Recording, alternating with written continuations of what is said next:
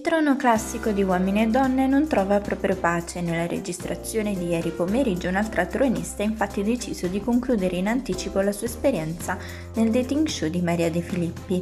Si tratta di Veronica Burchielli, entrata in possesso della poltrona rossa soltanto qualche puntata fa, dopo aver rifilato un sonoro no ad Alessandro Zarino.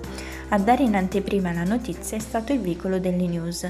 Nelle ultime registrazioni Veronica aveva infatti comunicato alla De Filippi di pensare ancora ad Alessandro, motivo per cui ha chiesto alla redazione di potersi mettere in contatto con lui al fine di avere un ulteriore chiarimento.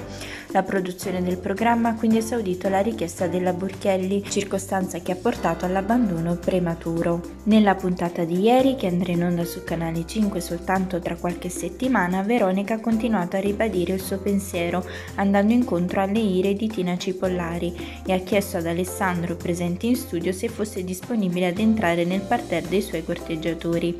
Data la risposta negativa di Zarino, la Burchielli ha dunque considerato concluso il suo percorso a uomini e donne e per capire se fosse possibile incominciare una relazione con lui ha lasciato la trasmissione in compagnia dell'uomo.